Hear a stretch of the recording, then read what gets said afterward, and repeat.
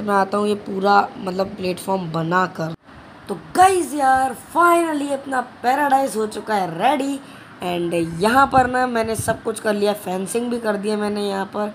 And पता नहीं कौन गेम में आया है, शायद यार।